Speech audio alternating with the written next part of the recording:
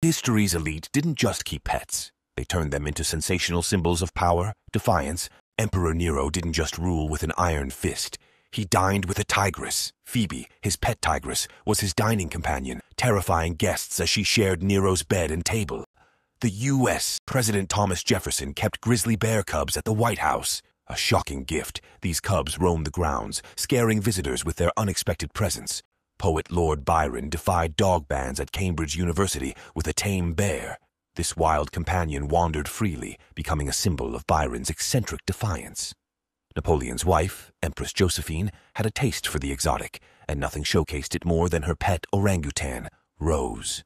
Dressed in white and dining with the elite, this primate was no mere pet, but a symbol of Josephine's extravagant elegance.